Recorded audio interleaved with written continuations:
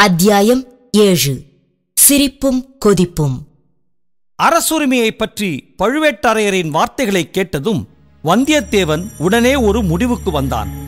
அரசுரிமையை பற்றி இவர்கள் என்ன பேசப் போகிறார்கள்? இவர்கள் யார் பேசுவதற்கு? இந்த கூட்டத்தில் நடக்கப் போவதை அறிந்து கொண்டே தீர வேண்டும். இங்கேயே உட்கார வேண்டியதுதான். இதைக் காட்டிலும் வசதியான இடம் வேறு கிடைக்காது. ஆழ்வார்க்கடியான் எப்படியாவது போகட்டும். அவனைப் பற்றி நமக்கென்ன கவலை? இன்றைக்கு இங்கு ஏதோ மர்மமான நிகழ்ச்சி நடைபெறப் போகிறது என்ற எண்ணம் வந்தியத்தேவன் மனதிலே முன்னமே உண்டாகியிருந்தது.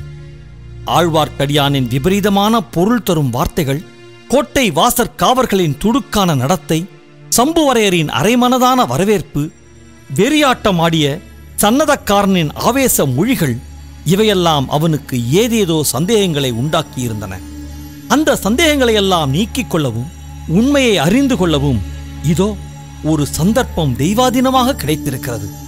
அதையே நழுவ விட வேண்டும். ஆகா என்னுடைய உயிருக்குயிரான நண்பன் என்று கருதி வந்த கந்தமாறன் கூட என்னுடன் உண்மையை சொல்லவில்லை. என்னை தூங்கு வைத்துவிட்டு இந்த ரகசிய நள்ளிரவு கூட்டத்திற்கு வந்திருக்கிறான். அவனை நாளைக்கு ஒரு கை பார்க்க வேண்டியதுதான். இதற்குள் கீழே பழுவேட்டரையர் பேசத் தொடங்கிவிட்டார். வந்தியத்தேவன் காது கொடுத்து கவனமாக கேட்கலானான். உங்களுக்கெல்லாம் மிக முக்கியமான ஒரு செய்தியை அறிவிக்கவே நான் இங்கு வந்திருக்கிறேன். அதற்காகவே இந்த கூட்டத்தை சம்புவரையர் கூட்டியிருக்கிறார். சுந்தர சோழ மகாராஜாவின் உடல்நிலை மிக கவலைக்கிடமாயிருக்கிறது. அரண்மனை வைத்தியர்களிடம் அந்தரங்கமாக கேட்டுப் பார்த்தேன். அவர்கள் இனிமேல் நம்பிக்கைக்கு இடமில்லை. அதிக காலம் உயிரோடு இருக்க மாட்டார் என்று சொல்லிவிட்டார்கள். ஆகவே இனிமேல் நடக்க வேண்டிய காரியங்களைப் பற்றி நாம் இப்போது யோசித்தாக வேண்டும். என்று கூறி பழுவேட்டரையர் நிறுத்தினார். ஜோதிடர்கள் என்ன சொல்கிறார்கள்? என்று கேட்டார் கூட்டத்தில் ஒருவர். ஜோதிடர்களை போய் கேட்பானேன்? சில நாளாக பின்மாலை நேரத்தில் வானத்தில் வால் நட்சத்திரம் தெரிகிறதே அது போதாதா? பின்னர் பழுவேட்டரையர் கூறினார். ஜோசியர்களையும் கேட்டாகிவிட்டது. அவர்கள் சில காலம் தள்ளி போடுகிறார்கள். அவ்வளவுதான். எப்படி இருந்தாலும் அடுத்தாற்போல் பட்டத்துக்குரியவர் யார் என்பதை நாம் யோசித்தாக வேண்டும். அதை பற்றி இனி யோசித்து என்னாவது? ஆதித்த கரிகாலருக்குத்தான் இளவரசு பட்டம் இரண்டு வருஷத்துக்கு முன்பே கட்டியாகிவிட்டதே. உண்மைதான். ஆனால் அப்படி இளவரசு பட்டம் கட்டுவதற்கு முன்னால் நம்மில் யாருடைய யோசனையாவது கேட்கப்பட்டதா என்று தெரிந்து கொள்ள விரும்புகிறேன். இங்கே கூடியுள்ள நாம் ஒவ்வொருவரும் நூறு ஆண்டுக்கு மேலாக நாலு தலைமுறையாக சோழ சாம்ராஜ்யத்தின் மேன்மைக்காக பாடுபட்ட பழங்குடியைச் சேர்ந்தவர்கள். என் பாட்டனாருக்கு தந்தை திருப்புரம்பியம் போரில் இறந்தார். பாட்டனார் வேலூரில் நடந்த போரில் உயிர் விட்டார். என் தந்தை தக்கோலத்தில் உயிர் தியாகம் செய்தார்.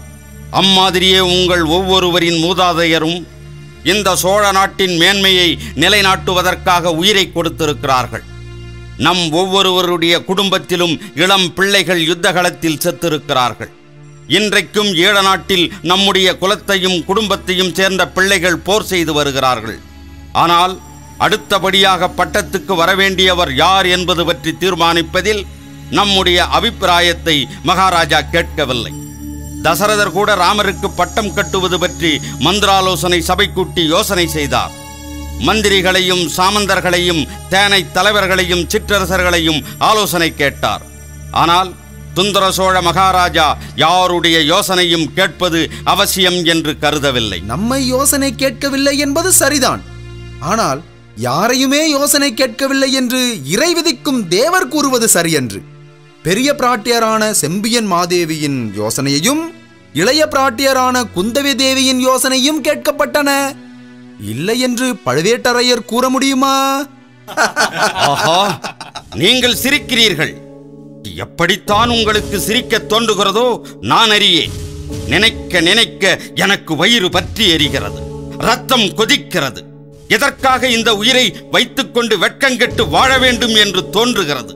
என்று சன்னதம் வந்து ஆடிய தேவராளன் துர்க்கை பலி கேட்டதாகச் சொன்னான். ஆயிரம் வருஷத்து பரம்பரை ராஜவம்சத்தில் பிறந்த நரபலி வேண்டும் என்று சொன்னான். என்னை பலி கொடுத்து விடுங்கள். என்னுடைய குலம் ஆயிரம் ஆண்டுகளுக்கும் தொன்மையானது. நீங்கள் ஒவ்வொருவரும் உங்கள் கத்தியினால் என் கழுத்தில் ஒரு போடு போட்டு பலி கொடுத்து விடுங்கள். அன்னை துர்க்கை திருப்தி அடைவாள். என் ஆத்மாவும் சாந்தி அடையும். இவ்விதம் ஆவேசம் வந்து ஆடிய சன்னதக்காரனைப் போலவே வெறிகொண்ட குரலில் சொல்லி பழுவேட்டரையர் நிறுத்தினார். சற்று நேரம் மௌனம் குடிகொண்டிருந்தது. மேற்கு திசை காற்று விற்றென்று அடிக்கும் சத்தமும் அந்த காற்று காற்றில் கோட்டை சுவருக்கு வெளியேயுள்ள மரங்கள் ஆடி அலையும் மரமர சத்தமும் கேட்டன. ஏதோ தெரியாத்தனமாக பேசிவிட்ட பரிகாச பேச்சையும் அதனால் விளைந்த சிரிப்பையும் பழுவூர் மன்னர் பொறுத்திருள வேண்டும். தாங்கள் எங்களுடைய இணையில்லா தலைவர். தாங்கள் இட்ட கட்டளையை நிறைவேற்ற இங்குள்ளவர் அனைவரும் சித்தமாயிருக்கிறோம். தாங்கள் காட்டிய வழியில் நடக்கிறோம் தயவுசெய்து மன்னித்துக் கொள்ள வேண்டும். என்று சம்புவரையர் உணர்ச்சியுடனே கூறினார். ஆ. நானும் கொஞ்சம் பொறுமை இழந்து விட்டேன். அதற்காக நீங்கள் என்னை மன்னிக்க வேண்டும். ஒரு விஷயத்தை எண்ணிப் பாருங்கள். சரியாக இன்றைக்கு நூறு ஆண்டுகளுக்கு முன்னால் விஜயாலய சோழர் முத்தரையர்களை முறியடித்து தஞ்சாவூரை கைப்பற்றினார். திருப்புரம்பியம் போரில் பல்லவ சைன்யத்துக்கு துணையாக நின்று மதுரை பாண்டியரின் படையை நிர்மூலமாக்கினார். அது முதல் சோழ ராஜ்யம் நாளுக்கு நாள் பெருகி விஸ்தரித்து வந்திருக்கிறது. காவேரி நதிக்கு கரையெடுத்த கரிகால் வளவர் காலத்திலே கூட சோழ ராஜ்யம் இவ்வளவு மகோன்னதத்தை அடைந்தது கிடையாது. இன்றைக்கு தெற்கே குமரிமுனையில் இருந்து வடக்கே துங்கபத்திரை கிருஷ்ணை வரையில் சோழ சாம்ராஜ்யம் பறந்து விரிந்து கிடக்கிறது. பாண்டிய நாடு நாஞ்சில் நாடு யாருக்கும் இதுவரையில் வணங்காத சேர நாடு தொண்டை மண்டலம் பாகி நாடு கங்கபாடி நுளம்பாடி வைதும்பர் நாடு சிட்புலி நாடு பெரும்பானப்பாடி பொன்னி நதி உற்பத்தியாகும் குடகு நாடு ஆகிய இத்தனை நாடுகளும் சோழ சாம்ராஜ்யத்துக்கு அடங்கி கப்பம் செலுத்தி வருகின்றன. இவ்வளவு நாடுகளிலும் நம் சோழ நாட்டு புலிக்கொடி பறக்கிறது. தெற்கே ஈழமும் வடக்கே இரட்டை மண்டலமும் வேங்கியும் கூட இதற்குள் நமக்கு பணிந்திருக்க வேண்டும். அப்படி பணியாததற்கு காரணங்களை நான் சொல்ல வேண்டியதில்லை. அவைகளெல்லாம் உங்களுக்கு தெரிந்ததுதான். ஆம். எல்லோருக்கும் தெரியும். ஈழமும் இரட்டைப்பாடியும் வேங்கியும் கலிங்கமும் பணியாததற்கு இரண்டு காரணங்கள் உண்டு. ஒரு காரணம் வடதிசை மாதண்ட நாயகராகிய இளவரசர் ஆதித்த கரிகாலர். இன்னொரு காரணம் அவருடைய தம்பி அருள்மொழிவர்மர். மழவரையர் கூறும் காரணத்தை நான் ஒப்புக்கொள்ளுகிறேன். சென்ற நூறாண்டு காலமாக இந்த சோழ நாட்டில் சேனாபதி நியமிக்கும் மரபு வேறாயிருந்தது. பல யுத்தங்களில் ஈடுபட்டு அனுபவம் பெற்ற வீராதி வீரர்களையே படைத்தலைவர்களாகவும் மாதண்ட நாயகர்களாகவும் நியமிப்பார்கள். ஆனால் இப்போது நடந்திருப்பது என்ன? மூத்த இளவரசர் வடதிசை சேனையின் சேனாதிபதி. அவர் என்ன செய்கிறார்? இரட்டை மண்டலத்தின் மீதும் வேங்கி நாடு மீதும் படையெடுத்து போகவில்லை. காஞ்சிபுரத்தில் உட்கார்ந்து கொண்டு பொன்மாளிகை கட்டிக் கொண்டிருக்கிறார். வீர பெருங்குடியில் பிறந்த வீராதி வீரர்களாகிய உங்களை கேட்கிறேன். இதற்கு முன்னால் தமிழகத்தில் எந்த மன்னராவது தாம் வசிப்பதற்கு பொன்னால் மாளிகை கட்டியதுண்டா? உலகமெங்கும் புகழ் பரப்பி இப்போது கைலாசவாசியாயிருக்கும் மதுரையும் ஈழமும் கொண்ட பராந்தக சக்கரவர்த்தி கூட தாம் வசிப்பதற்கு பொன் மாளிகை கட்டிக்கொள்ளவில்லை தில்லை சிற்றம்பலத்துக்குத்தான் பொன்கூரை வேய்ந்தார். ஆனால் இளவரசர் ஆதித்த கரிகாலர் தாம் வசிப்பதற்கு காஞ்சிபுரத்தில் பொன் மாளிகை கட்டுகிறார். பல்லவ சக்கரவர்த்திகள் தலைமுறை தலைமுறையாக வாழ்ந்து ராஜ்யபாரம் புரிந்த அரண்மனை இவருடைய அந்தஸ்துக்கு போதவில்லையாம் பொன்னிழைத்த அரண்மனை கட்டுகிறார். ரத்தினங்களையும் வைடூரியங்களையும் அப்பொன் மாளிகை சுவர்களில் பதிக்கிறார். கங்கபாடி நுளம்பாடி குடகு முதலிய நாடுகளில் வெற்றியடைந்து கைப்பற்றி கொண்டு வந்த பொருளில் ஒரு செப்புக்காசாவது தலைநகரில் உள்ள பொக்கிஷச்சாலைக்கு அவர் இதுவரை அனுப்பியதில்லை. பொன் மாளிகை கட்டி முடிந்து விட்டதா? ஆம். முடிந்துவிட்டது என்று என்னுடைய அந்தரங்க ஒற்றர்கள் மூலம் அறிந்தேன். அத்துடன் சுந்தர சோழ மகாராஜாவுக்கு அவருடைய அருமை மூத்த புதல்வரிடமிருந்து கடிதங்களும் வந்தன. புதிதாக நிர்மாணித்திருக்கும் பொன் மாளிகையில் வந்து சுந்தர சோழ மகாராஜா சில காலம் தங்கியிருக்க வேண்டும் என்று. மகாராஜா காஞ்சிக்கு போகிறாரா? என்று ஒருவர் கவலை ததும்பிய குரலில் கேட்டார். அத்தகைய கவலை உங்களுக்கு வேண்டாம். அப்படி ஒன்றும் நேராமல் பார்த்துக்கொள்ள நான் இருக்கிறேன். தஞ்சை கோட்டை காவலனாகிய என் சகோதரனும் இருக்கிறான். சின்ன பழுவேட்டரையின் அனுமதி இல்லாமல் யாரும் தஞ்சை கோட்டைக்குள் புக முடியாது. என்னை எறியாமல் யாரும் மகாராஜாவை பேட்டி காணவும் முடியாது. ஓலை கொடுக்கவும் முடியாது. இதுவரையில் இரண்டு மூன்று தடவை வந்த ஓலைகளை நிறுத்திவிட்டேன். வாழ்க பழுவேட்டரையர். வாழ்க பழுவூர் மன்னரின் சாணக்கிய தந்திரம். வாழ்க அவர் வீரம். இன்னும் கேளுங்கள்.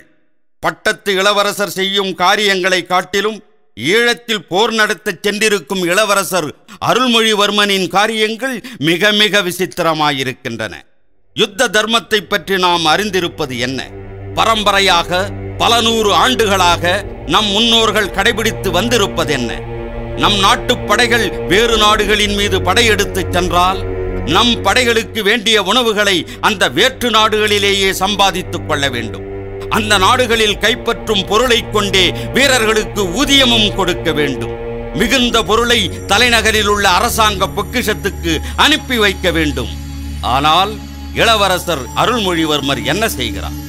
ஈழ நாட்டில் உள்ள நம் போர் வீரர்களுக்கெல்லாம் இங்கிருந்து கப்பல்களில் உணவு அனுப்பி வைக்க வேண்டுமாம் ஒரு வருஷ காலமாக நானும் பத்து தடவை பல கப்பல்களில் ஏற்றி உணவு அனுப்பி வைத்திருக்கிறேன். விந்தை விந்தை! இந்த அநியாயத்தை பொறுக்க முடியாது. இப்படி கேட்டதே இல்லை. என்ற குரல்கள் எழுந்தன. அந்த அதிசயமான காரியத்துக்கு இளவரசர் அருள்மொழிவர்மர் கூறும் காரணத்தையும் கேட்டு வையுங்கள். படையெடுத்துச் சென்ற நாட்டில் நம் வீரர்களுக்கு வேண்டிய உணவுப் பொருளை சம்பாதிப்பது என்றால் அங்குள்ள குடிமக்களின் அதிருப்திக்கு உள்ளாக நேரிடுமாம். ஈழத்து அரச குலத்தோடு நமக்கு சண்டையே தவிர ஈழத்து மக்களோடு எவ்வித சண்டையும் இல்லையாம். ஆகையால் அவர்களை எவ்விதத்திலும் கஷ்டப்படுத்தக் கூடாதாம் அரச குலத்தாருடன் போராடி வென்ற பிறகு மக்களின் மனமார்ந்த விருப்பத்துடன் ஆட்சி நடத்த வேண்டுமாம். ஆகையால் பணமும் உணவும் இங்கிருந்து அனுப்ப வேண்டுமாம். இச்சமயம் கூட்டத்தில் ஒருவர் படையெடுத்துச் சென்ற நாடுகளில் உள்ள ஜனங்களிடம் ஒன்றுமே கேட்கக்கூடாது. அவர்களின் காலில் விழுந்து கும்பிட வேண்டும் என்ற யுத்த தர்மத்தை இதுவரை நாங்கள் கேட்டதே கிடையாது. அதனால் விளையும் விபரீதத்தையும் கேளுங்கள். இரண்டு இளவரசர்களும் சேர்ந்து செய்யும் காரியங்களினால் தஞ்சை அரண்மனை தனபுக்கிஷமும் தானிய பண்டாரமும் அடிக்கடி மிக குறைந்து போகின்றன. உங்களுக்கெல்லாம் அதிக வரி போட்டு வசூலிக்கும் நிர்பந்தம் எனக்கு ஏற்படுகிறது. இதற்காகத்தான் என்னை இறை அதிகாரியாக நியமித்திருக்கிறார்கள். சோழ நாட்டின் மேன்மையே முக்கியம் என்று நான் கருதியிராவிட்டால் எப்பொழுதோ இப்பதவியை விட்டு தொலைத்திருப்பேன். ஆ உடவே கூடாது. தாங்கள் இப்பதவியில் இருப்பதுதான் எங்களுக்கெல்லாம் பெரிய பாதுகாப்பு. இந்த முறைகேடான காரியங்களைப் பற்றி தாங்கள் மகாராஜாவிடம் சொல்லி பார்க்கவில்லையா? சொல்லாமல் என்ன? பல தடவை சொல்லியாக்கிவிட்டது ஒவ்வொரு தடவையும் பெரிய பிராட்டியிடம் கேளுங்கள் இளைய பிராட்டியிடம் கேளுங்கள் என்ற மறுமொழிதான் கிடைக்கிறது. முன்னமேதான் சொன்னேனே மகாராஜாவுக்கு சுயமாக சிந்தனை செய்யும் சக்தியே இப்போது இல்லாமல் போய்விட்டது. முக்கியமான காரியங்களில் நம்முடைய யோசனையை கேட்பதும் இல்லை அவருடைய பெரியன்னை செம்பியன் மாதேவியின் வாக்குதான் அவருக்கு வேத வாக்கு. அடுத்தபடியாக அவருடைய செல்வ குமாரி குந்தவை பிராட்டியிடம் யோசனை கேட்கச் சொல்கிறார். ராஜ்ய சேவையில் தலைநரைத்து போன நானும் மற்ற அமைச்சர்களும் அந்த சின்னஞ்சிறு பெண்ணிடம் கொள்ளிடத்துக்கு வடக்கேயும் குடமுருட்டிக்கு தெற்கேயும் சென்றறியாத பெண்ணிடம் யோசனை கேட்பதற்கு போய் நிற்க வேண்டும். எப்படி இருக்கிறது கதை? இந்த சோழ ராஜ்யம் ஆரம்பமான காலத்திலிருந்து இப்படி ராஜ்ய காரியங்களில் பெண்கள் தலையிட்டதாக நாம் கேள்விப்பட்டதில்லை. இத்தகைய அவமானத்தை எத்தனை நாள் நாம் பொறுத்திருக்க முடியும்? அல்லது நீங்கள் எல்லாரும் ஒருமுகமாக சொன்னால் நான் இந்த ராஜாங்க பொறுப்பையும் வரி விதித்து பொக்கிஷத்தை நிரப்பும் தொல்லையையும் விட்டுவிட்டு என் சொந்த ஊரோடு இருந்து விடுகிறேன். கூடாது கூடாது. பழுவூர் தேவர் அப்படி எங்களை கைவிட்டு விடக்கூடாது. அரும்பாடுபட்டு ஆயிரம் ஆயிரம் வீரர்கள் நாலு தலைமுறைகளாக தங்கள் இரத்தத்தை சிந்தி தாபித்த சோழ சாம்ராஜ்யம் ஒரு நொடியில் சின்னாபின்னமாய் போய்விடும். அப்படியானால் இந்த நிலைமையில் என்ன செய்வது என்று நீங்கள்தான் எனக்கு யோசனை சொல்ல வேண்டும். அல்லி ராஜ்யத்தை விட கேவலமாகிவிட்ட இந்த பெண்ணரசுக்கு பரிகாரம் என்னவென்று நீங்கள்தான் சொல்ல வேண்டும். என்றார் பழுவூர் மன்னன்.